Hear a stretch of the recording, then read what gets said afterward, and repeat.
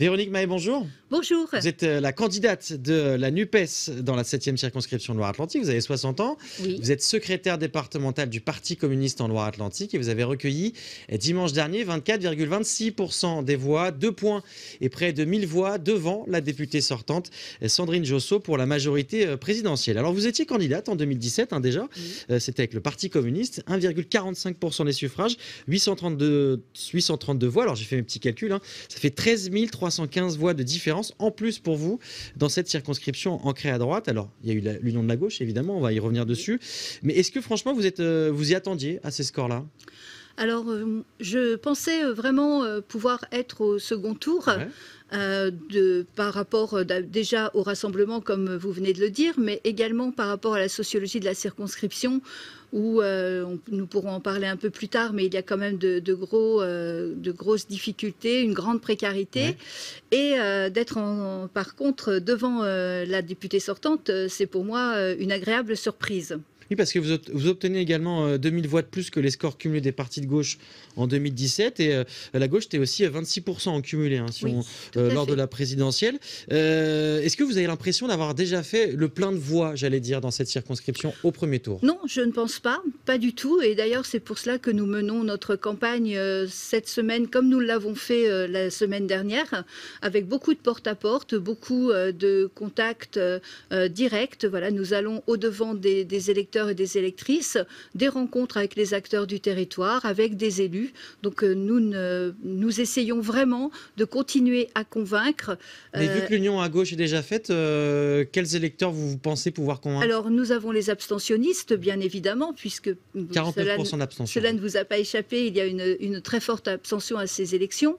Et puis également euh, euh, les déçus euh, de, de la députée sortante, hein, bien évidemment, euh, les déçus de la politique d'Emmanuel Macron euh, qu'a défendu euh, Madame Josso pendant cinq ans. Et d'ailleurs, euh, elle le notait sur ses affiches, elle était la seule candidate du président de la République. Ce, ce sera ça l'argument justement pour, pour cet entre-deux tours, pour, j'allais dire, mobiliser les gens pour qu'ils aillent voter. On sait que c'est compliqué. hein, dans les Notre argument, c'est qu'il y a une possibilité, enfin, de passer la circonscription à gauche et surtout de donner de l'espoir.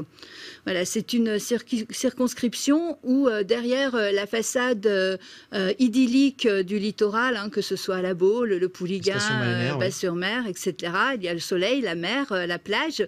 Et puis, nous, quand nous faisons du porte-à-porte, eh ben, derrière les portes, il y a beaucoup de, de colère, beaucoup de, de désespoir, beaucoup de misère. Et nous, nous estimons que ces gens-là, nous devons porter leur parole. En tout cas, moi, c'est ce que je souhaite faire, porter leur parole à l'Assemblée nationale, les écouter. Ils ont vraiment un sentiment d'abandon.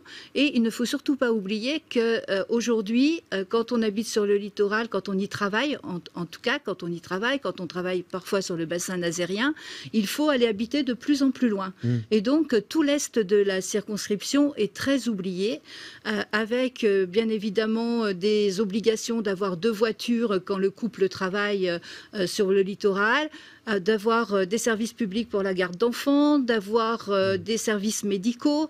Et, et, euh, tout cela, euh, malheureusement, c'est très compliqué, d'autant plus que les élus, euh, les élus locaux, doivent répondre à des obligations alors que l'État se désengage de plus en plus. Alors, vous, vous l'avez un peu dit, hein, mais vous êtes en tête à Pontchâteau et Guérande. Oui, hein. oui. Euh, derrière à la Baule et Pornichet, effectivement, de- deux stations balnéaires sur le littoral très connues.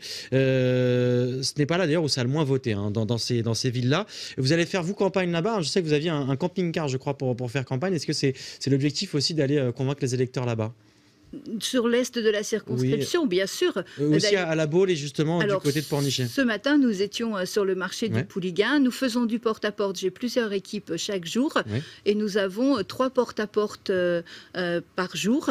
euh, sur, un sur la Presqu'île, un sur la Brière et l'autre un peu plus au, au nord de la circonscription. Vous parlez également aux électeurs de l'extrême droite. hein. Il y a également une grosse percée hein, depuis 2017 pour, pour l'ensemble des partis de- d'extrême droite. Oui, bien sûr. De toute façon, derrière la porte, nous ne savons pas quelles sont les idées de, l'électeur. Euh, L'idée, c'est bien de les convaincre un maximum que effectivement, ils ne sont pas contents de ce qui se passe aujourd'hui, ne sont pas contents de cette politique. Euh, ils ont besoin que nous les aidions, que nous portions leur parole et euh, quel que soit Aujourd'hui, c'est ce que je, porte comme message. Euh, il faut que nous nous rassemblions contre la politique gouvernementale d'Emmanuel Macron défendue par Madame Josso. Il faut vraiment que nous le fassions au-delà de tout esprit de chapelle. Il n'y a aucun sectarisme à mmh. avoir.